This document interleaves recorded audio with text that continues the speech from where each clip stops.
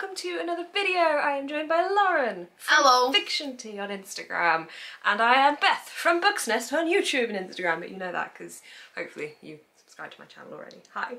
We're going to be doing a celebratory video today because a couple of months or a month or two ago I hit 10k on YouTube, Yay! Congratulations! and I said I would do a Q&A video, and I just haven't whatever reason got around to doing one. So I thought it would be fun to do one whilst Lauren was here. We put some question boxes up on Instagram. We asked you guys to submit questions either for one, both, or none of us. Because Yeah. someone submitted one for my plants. Yeah, someone Um, submitted one for one of Beth's fake plans, even though all her plans are pretty much real, which Yeah. is They're real plants. So yeah, we're gonna go through the questions. We're gonna kind of do it rapid fire because we're filming this just before we need to leave to go to the airport. Yes, we're cutting a bit fine, but it's okay. Lauren's leaving today. So yeah, we'll quick we're going home, Scotland. I'm coming home to you. So yeah, rapid fire questions. Do drop us down any more below if you wanted to though, and we can maybe do like one on Instagram Live or something if we put some extra ones. But let's jump into the questions. So the first question I have received is best board games to play with friends. I am a nerd and I like Trivial Pursuit. That is my favourite board game. So I would say Trivial Pursuit. Uh, I don't know if any of you will know this, but I enjoy the game of life, and it's probably because I'm pretty good at it. Somehow I'm really, really good at it. Um, and Cluedo. Oh, Cluedo I enjoy. I don't like Cluedo. Game of Life I loved as a child, and then since playing it as an adult, I'm like, no, I, I find it so boring as an adult, but I like used to love it. When I got a really good career, I was like, yes, I'm going somewhere in life. So the next question is one that is for me, but Lauren's had a question Similar. vaguely related to this topic. How did you get started on YouTube? I love you and your content. Thank you so much. Uh, to start with, I started in 2016 and did it for about a year or two and then just kind of petered out. I don't really know why, but I wasn't enjoying it as much as I do now. I absolutely love it now. And I think now I've kind of managed what kind of content I want to create, what I want to talk about. So I started it up again during lockdown, right at the start of lockdown in 2020. I did a degree in film production, so I've always liked the idea of creating videos and continuing what I enjoyed about doing that degree. So this has kind of enabled me to do that. So yeah, I started it in 2016, didn't do it for a while in between, and then started back up thank you to lockdown in 2020. But the reason this is related is because a lot of questions we've been getting generally over the last few weeks is does Lauren have a YouTube channel? A big whopping no. she does not. And are you going to create a YouTube channel? no, sorry. I mean, I'm, I might in the near future, like, um, basically living situations and stuff like that. I still live at home, it would be really hard. And honestly, I find it hard enough keeping up with my Instagram, so a YouTube on top of that would just be too difficult. I applaud Beth for managing to balance it like a third friggin' job, but like, I right now it's just not for me, so sorry. You'll just have to get sneak peeks of me in lives and stuff like that. Yeah. And maybe in future YouTube videos from Maybe. me. Yeah, maybe. The next question, and this has been asked so many times in different variations, is how did we meet and how long have we been friends? And were we friends before we met online or did we meet online, basically? I kidnapped Beth. That is how it happened. It is, yeah, that's it. So we worked this out last night that we physically met for the first time in 2018 at YALC, which is the Young Adult Literature Convention in London, every July. So that's when we first physically met, but we had spoken online before then. So no, we weren't friends like before we met each other in the book community, but this isn't the first time we physically met at all. This is like the manyth time we have we met, for the first time in 2018. Yeah, yeah. Um, I actually offered. Beth posted on her Instagram story asking if someone would want to make a lanyard for her for YALC because everyone had the lanyards with yeah, their Instagram everyone was names. doing them, and I felt left out. And And I was like, I'm making one right now. Do you want one? And she was like, Oh my god, yeah. How much? And I was like, No, no, it's fine. It's fine. Good deeds, you know. And then I turned. I was at one of the booths in YALC, and I turned around and I just saw a familiar head of hair, and I was like. Book's Nest! And I shouted at her, I was like, Book's Nest! And you're just like, oh fuck. and that's how we met. and we've been friends ever since. But yeah, I mean, we just kind of started chatting online through DMs and stuff, and that probably. I actually left a comment spoke. on some of her Oh, posts didn't and she didn't respond. I get a lot of comments, and I didn't see it, and I'm sorry. I go through comments on my posts like at the start of when I post them, and then like I try to go back to them, but I was being nice, I was engaging and she just ignored me. but it's okay. It worked out absolutely fine, and yeah, we've seen each other many times since then. I've been to Scotland. Lauren's now been here, so yes, it was the start of a beautiful friendship, and so that's been how many years is that? 18, 19, Four? yeah, four years. Wow. Four years, yeah. Um, so next question. Well, there's a lot of them. How did we meet? How did we become friends? So the next question is Beth, and I'm going to extend this to Lauren. Are you writing a book? Um, so I wrote a book in 2019. I also wrote one before then for NaNoWriMo and it is shit. Yeah, it's not good. I wrote that uh 2016, 2017, 2016. It's so bad. So bad. Everything starts off somewhere though. So yeah, I wrote a middle grade and I would love to do something with it, but I just haven't quite got around to properly editing it yet because that is a big job. So yes, I kind of did. Will I ever do anything with it? I don't know. Um, am I writing anything at the moment? No, because I work two full-time jobs and it is very busy. So I would love to be able to, but I'll edit the one I've currently written first. I have written some, well, in fact, a lot of things, but um, the one that I really think has some potential I'm currently working on and very very slowly. I'm a Virgo, I'm a perfectionist and I'm a planner not a plotter. Well, no, I'm a planner not a pantser. So um yeah, it's going coming along very slowly. I've got two big ideas. I can't quite work out what one's the best one to work on first. So I'm in the process of it, but it's going to take a long time. I'm not in any rush to do it, but I would like to do it at least before I'm 30. You can do it. Can't believe I'm 30 soon. God. Favorite part about being a book YouTuber, but uh, why didn't I say A YouTube- book you- YouTuber? you- you- a book YouTuber or just a content creator? A book books con- YouTuber. A books. What is a booktuber, really, isn't it? Mm. A book. Favorite part about being a bookish content creator, shall we say? What are your favorite parts? meeting new people and um, getting to interact with authors and stuff and Mm. telling them how much you love their books like it really makes their day and stuff like that Yeah. um, and getting to share like your interest in books and some other stuff and also uh, quite even though this isn't book related but I quite enjoy like sharing some stuff that kind of stems off of books so like Yeah. if you like to write or if you like to read manga or something like that that's my kind of like thing that I enjoy doing as well Yeah. For me, I think it's really similar, like it, meeting new people, but like having a community of people that like the same things that you do and where you know it's acceptable to go in and say certain things without people just looking at you like, what the hell are you going on about? Like, my home friends here are great, but in terms of doing this kind of stuff and creating content for books online, that's not something they do. So it's nice to have people around me that are in that kind of community. So I've kind of got two different friendship groups going on in a way. And I suppose without the book community, there are so many people I talk to daily that I would have never met. And it's just so nice to feel at home with it, mm. I think. And I really enjoy creating, and for me, it gives me a space to be able to do that. It's quite it sounds quite dramatic but um like I don't know where I would be without the book community because Yeah. it kind of helped me like if it wasn't for Bookstagram I wouldn't have the friends that I have I wouldn't have the job that I have I wouldn't have books I wouldn't have been enjoying books as much because I wouldn't be getting recommendations and stuff so it's literally changed my life Same, yeah, same. I look at how much I used to. Like, I've always been a reader, but I would, you know, the the books I've read and the, the expanding things I've read about has come from the internet as well, and learning more and growing as a reader, and it's just yeah, it it's done so much. so very emotional moment for us 2022 plans. I, I'll have a quick answer to this because I don't really have any yet. Like, obviously, I'll just continue as I am, and hopefully, the world will be a bit more open then. So, it'd be lovely to go abroad somewhere. Um, but I don't have anything set as a plan yet, just continuing as I am, hopefully, continuing to grow my content and do lots of good work. uh, grow content as well Yeah. um YouTube maybe no. I'm hoping to go abroad as well but particularly to the US to visit some family and some friends uh come down to London again me and my friend want to do like a weekend in Airbnb Yelp Oh, yeah, And- yes, yeah, because my 2022 plan, just the whole of it. yeah and um hopefully finish writing a draft of a book Oh, yeah, maybe I should add that into mine. yeah Yeah.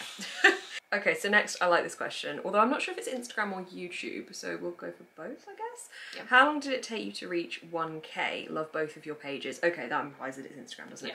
Um, oh my god, I don't actually remember exactly how long it took me. I remember being stuck at around 1.5 for years. So I think maybe it took me like one to two years to reach that point, and then it took me until it was 2019 that I hit 10k in the May, and then ever since been able to be on a steady incline of growth. So I reckon about a year or two. It took longer than I think people expect it to take. I I think I'm in a u- unique position because I joined right like at the very start of Bookstagram, like back in 2014. Um, so it only took me maybe about three months, three four months. But back then there was barely any Bookstagrammers, and it was a very niche thing. So you were very easily found. So I think that kind of worked in my favor. So I wish I knew. I, I'd like to be able to find out because I started my account as a New Year's resolution in 2016. I just don't.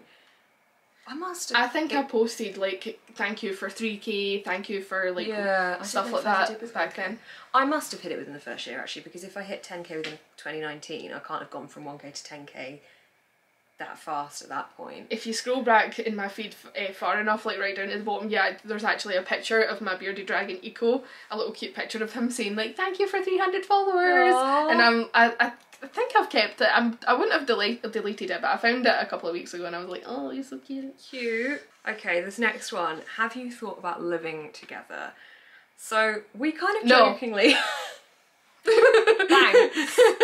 we kind of jokingly often are like, "Oh, you should come and live down here," or Lauren's like, "You should come and live up here," don't we? Because Yeah. like I have been to Edinburgh and Glasgow, and I think that Scotland's really lovely. And Lauren has obviously been down here and has enjoyed this neck of the woods. Yeah, sure, say. it's fine. yeah, it's been But good. yeah, we kind of like jokingly said it, but I own my home here. This is my flat that I have bought. Um, as Lauren mentioned earlier, she's still living at home at the moment and kind of, well, you want to stay in the area that you're in. I you? don't see myself Yeah. ever leaving Scotland. I, I, if I left Scotland, it would be some for somewhere abroad, like outside Yeah. of the UK. But I don't see myself leaving Scotland. Family's there. We've always been there. It's mm. home. And for me, I've got a nine-year-old sister, and I am very, very close to my mum. And it is, I think, I would find it quite difficult to not see Ava grow up in the same way that I am at the moment. So, I think at the moment, as much as we love spending time together, and it's been really nice, like I need of a break sometimes. and it's lovely, lovely living together for like two and a half weeks. But Yeah. I think I I'm at a point in my life where I'm enjoying having my own space almost. I think it, it, it's, it's a nice idea to be like, oh, we'll grow up and we'll live with our friends. But then when you actually grow up, you're like, no, you need your own space. Because as much as I would love, even like uh, living with a friend that I've known since I was four years old, would love to live with her, but like, I need my own space. So it's it totally is like that. I mean, like I've loved having you here, but like to sit alone is quite a can't wait bit- to go and sit in my bed alone. Yeah, Yeah. It's so weird, and I don't think I really got that until I moved out because I spent so much time with my family. I really rarely sat in my bedroom, but now just sitting on my sofa alone is just really lovely and relaxing. Yeah, because like I mean, you could sit there and like the most stupid onesie you can think of, and Yeah. no one's there to judge you. So basically, as much as we love each other, No. we, we like our alone time. Apparently, I, one day hopefully I will live with somebody. But yeah, I'm alright with it. And also, I think to be honest, the biggest thing is I bought this flat, so it wouldn't just be a case of selling it and going somewhere else. Um, but yeah.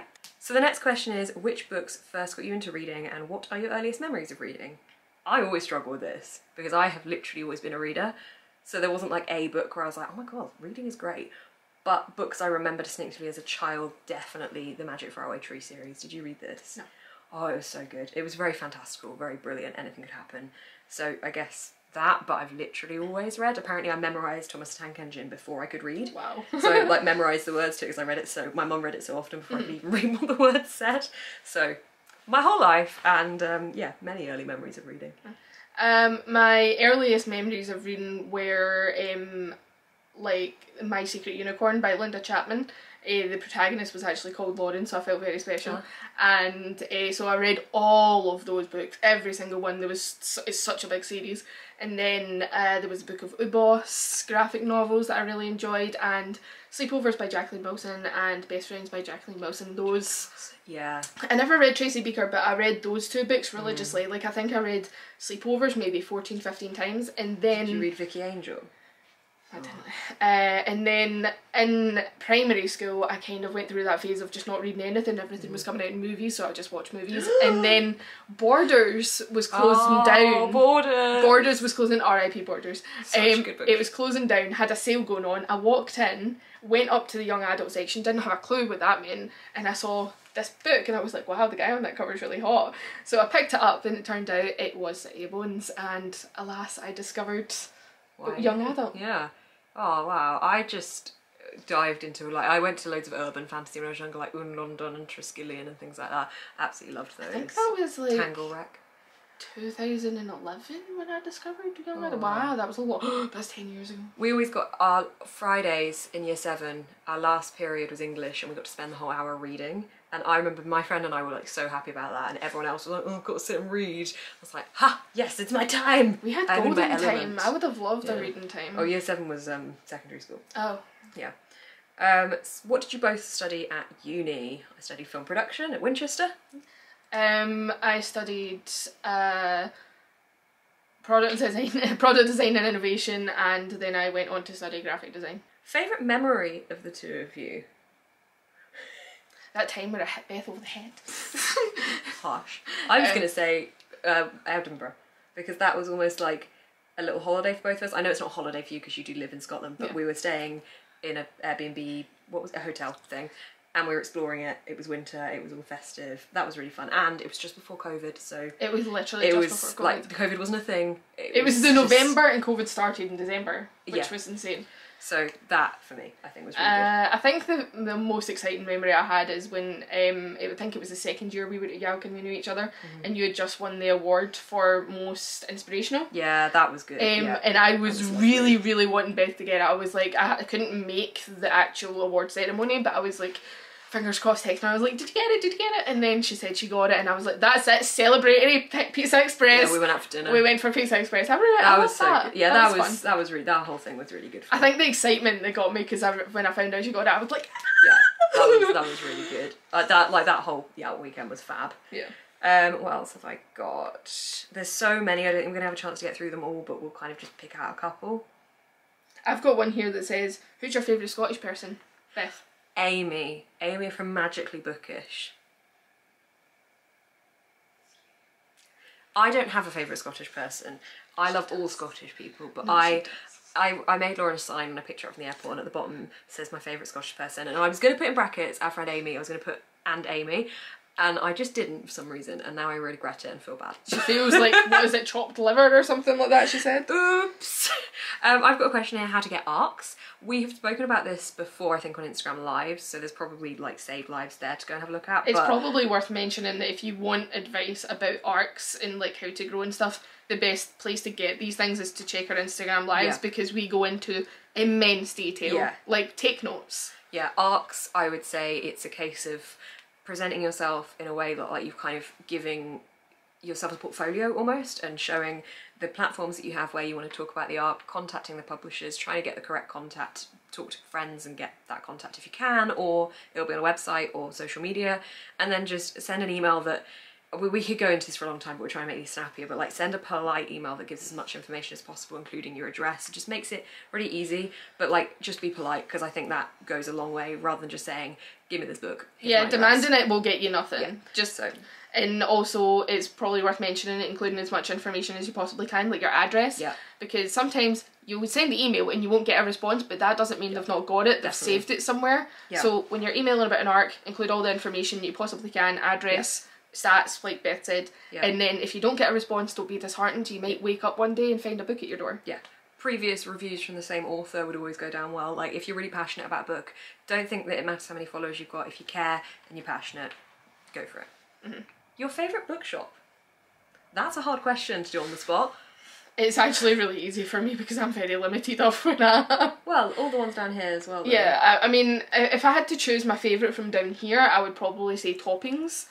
Um, but uh, in Scotland, what like in Glasgow at least, we don't have like a Toppings or anything like that. We need to go through to Edinburgh, so I would have to say Waterstones in Glasgow. Yeah. Biggest Waterstones in Scotland. good Waterstones. might that. I add? I would say the Toppings or Mr. B's in Bath. They're both just so so good. That's so, the most Toppings I was thinking of. Yeah.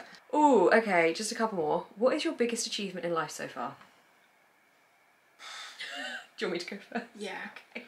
Um, for me, I think it's winning Book Influencer of the Year 2021. yeah. Which- just see it. Which literally just happened last month, but I words cannot describe how I feel about that. Again, thank you to everyone who made that possible, but I can't believe I actually did that. That blew my mind, meant so much for me, and is definitely going to be something I remember as being a massive achievement. Mm. Um, I would probably have to say winning most inspirational for UK YABA. Um, because I mean I've won other stuff in the past, but like that's something I worked towards. So it's the one I feel more achieved by, and I actually cried when they everyone get brought on to say like thank you and stuff like and I was the only one who was like thank you like I, th- I think you could have seen how much it meant to me Yeah, you can. Yeah, definitely. you can definitely see it. Was yeah, watching that happened. was like- that was an online event as well. I know. so- but that was amazing. still on YouTube if you want to see me cry I'll just go for a couple more. What book do you disagree on? like don't like. Or disagree, I suppose, in that I like it and you don't, or you like it and I don't. There's one that comes to mind for me. Um, Actually, okay, there's two. okay, so there's one I, I don't think I've necessarily disagreed with you because Beth has good recommendations. She knows what I like. So As does Lauren have excellent recommendations. But I know there's a book that Beth has read and given like three stars that I absolutely hated. No offense, sorry, but I hated Queen of Shadows by Sarah J. Maas. Did not like it. Could like, I, it, hate is a strong word, but like I really, really disagree with like basically what happened in the mm. story there. And I know you gave it three stars, so that's the But closest I thing. can't even remember it. So like, I wouldn't even say we disagree on that because I wouldn't be like, what? Oh my god! I would say two that we disagree on is the hating game, which I didn't Oh, right, like, yeah. and Lauren really I enjoyed. love the Hate Game. I just didn't like. I found it creepy. I found the main character very, very wrong, and I just really disliked him a lot. You make it sound as if I've got a really strange taste in men. He's so arrogant, and I don't like arrogant men, and that's the second book that we disagree on is Mortal Instruments. I hate. Okay, all right, Jace. Yeah. I hate Jace. We know this. We know I hate. J- Don't even like. We're just not. We're gonna. wait, move on wait, wait, wait. next she doesn't like Will Herondale either. I I don't. Re- I, I don't. He isn't on Jace's level, but they're both incredibly arrogant, and I hate that about them. So that's our disagreeing thing. But to end it on a positive from my questions, do you have any more questions actually that we've not got through to? Because I know we've seen kind of like mixes of the same kind of questions. No, it's pretty much the same one. I mean, I asked who's your favourite Scottish person. Your favourite book of all time. Uh, I don't know anymore because I used to say Shadow of the Wind, and I reread that recently. And whilst I still loved it, I don't know if it's going to sit as a favourite book of all time. I love the Poppy War. I absolutely love that. I've read that twice and thought it was fantastic. So maybe maybe it's the Poppy War now. I struggle with this as well because whilst I say the Bone Season is like my favourite, I wouldn't say the Bone Season is necessarily my favourite book of all time. It's my favourite series of all time, like absolutely as a whole. However, The Mask Falling is up there for one of my Yeah. favourite books. The fourth book that's just came out for it. it is like one of my favourite books ever now.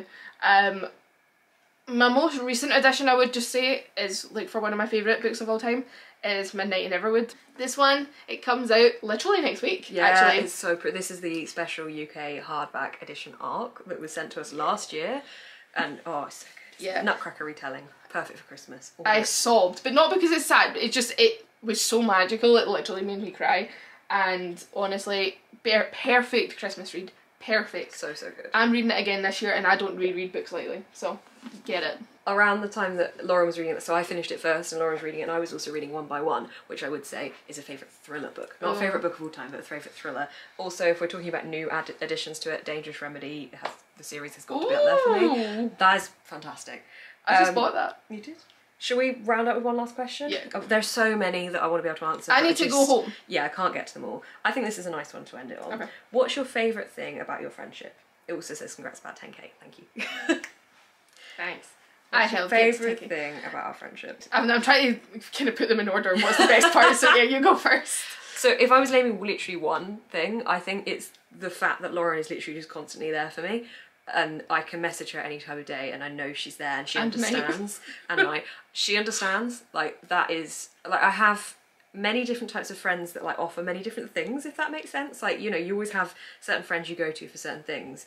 And Lauren is just kind of there for everything is there to listen she'll understand i could say anything to her and i don't think she would be like what are you going on about i could be very honest with her and i think that's not often something i would come across like that it's just i think i'm just lucky to have found that kind of friendship because i don't think that's something you necessarily always come across. Yeah. and so yeah uh, that's my favorite thing about our friendship just the kind of the companionship that i find in it really. Yeah, I would say pretty much the same. That the fact that I can my answer. Uh, no, okay, like give me a second. um, I, I can pretty much go to Beth about absolutely anything. Example, I called her once at three o'clock in the morning. Beth is a night out, like not a night out. Sorry, Oh, she goes she goes to bed at a very decent time and stuff like that. But But I had- like, I'll stay out late. Yeah. But like, yeah, she goes to bed at a mature time. 11, right? 12 ish. And um, like there was something happened recently, and I needed her at like three o'clock in the morning. I was really really upset, and I called her, and she picked up immediately, and she was there for me for like two hours. So like yeah, that like I can come to her about absolutely anything. Um, can talk to you about absolutely anything because you understand, as you said. But I think. I think one of the things that I enjoy most is the fact that we are so different Mm-hmm.